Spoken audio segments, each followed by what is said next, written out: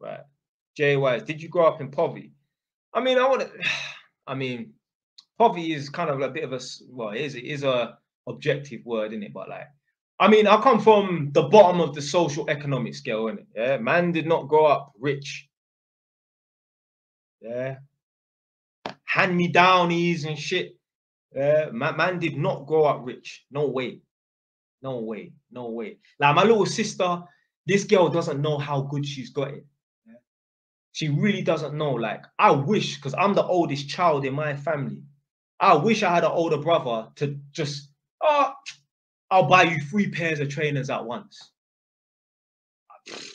Yeah, you think, God, you think man's parents could afford to just buy me three pairs of trainers at once just because there's a sale on? Just because older brother, well, there's a sale on, could probably get, because like my little sister's like a two and a half. Ah, I can get each pair of trainers is 30 pound. Oh, I'll just go and buy three just because. No way. No way.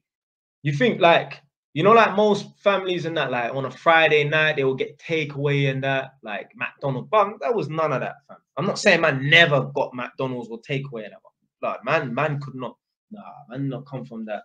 Always had Christmas presents though, and always had the heating on and that. But, but that was about it. That was about it. I remember walking around during the summer holidays, going from either year five to year six or year six to year seven with like 30p in my pocket and thinking like, right, this is three ice poles I can get, and I don't know when I'm gonna next re up on some money. Yeah, I better go down the side of that sofa and hopefully my stepdad's dropped out some coins out his pocket and he ain't noticed. That's how man grew up, like. But I come from a good home. There was no scandal in the family. When no stepdad getting drunk, beating up mom, none of that madness. Nah, nah, nah. But come from a good home, but come from a poor home.